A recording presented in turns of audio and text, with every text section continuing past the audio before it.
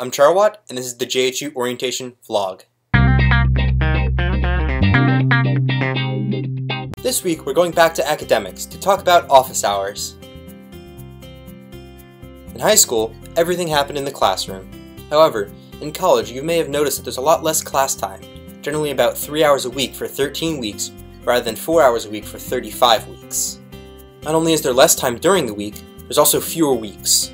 Because of this, professors generally use class time for lectures, discussions, and a few questions. This is a major departure from high school and it can catch a lot of people off guard. But luckily, professors have office hours. During office hours, you're free to go to your professor's office, ask any questions you want, do some examples with them, or have them give you feedback on an assignment. This is a great resource if you don't understand a topic, want to talk about what's happening in class, or just want to see it again. Please take advantage of this opportunity to talk to your professor. It can only enhance your experience in the course. If you like what you saw here, give it a thumbs up and subscribe to see more. We look forward to seeing you soon.